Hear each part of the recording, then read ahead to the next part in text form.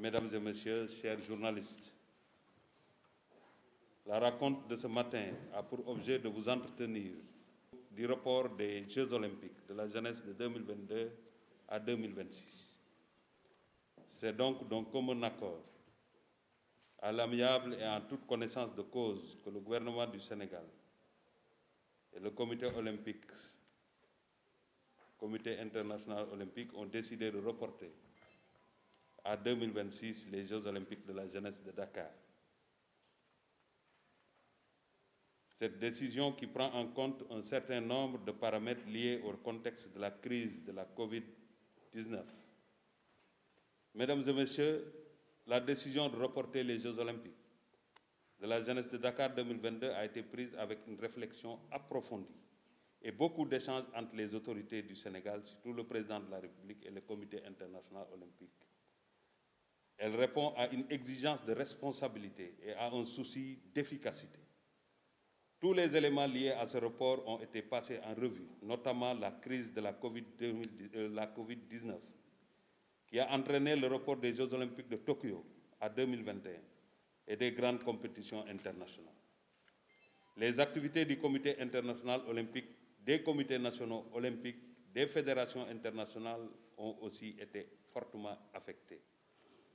À ce report, et ce report permettra à notre pays selon les termes même du communiqué conjoint, de poursuivre les excellents préparatifs menés avec l'appui du CIO et des fédérations internationales.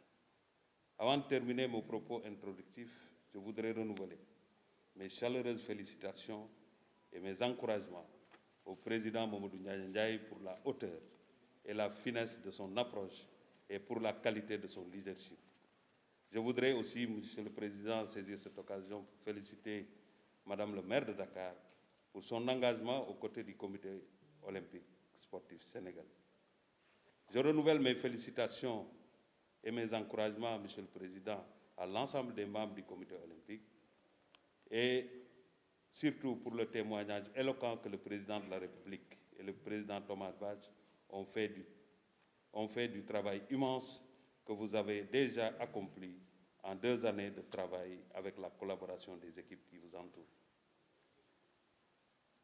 Je vous renouvelle, euh, Monsieur le Président, comme je l'ai dit tout à l'heure, l'engagement de, des membres du comité olympique.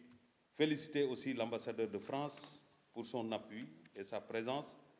je pense que c'est une dynamique qui va continuer malgré le report, parce qu'il faut qu'on soit très clair, ce n'est pas une annulation du tout, et ça pouvait arriver, mais c'est un report pour effectivement mieux préparer compte tenu de cette surprise générale qui est la COVID-19, qui a désintégré et désarticulé tous les schémas. Et, Monsieur le Président, c'est sur ce que je vais terminer et remercier l'ensemble de la presse sportive pour votre présence massive mais aussi pour le travail extrêmement important que vous êtes en train de faire aux côtés du gouvernement du Sénégal. Je vous remercie de votre aimable attention.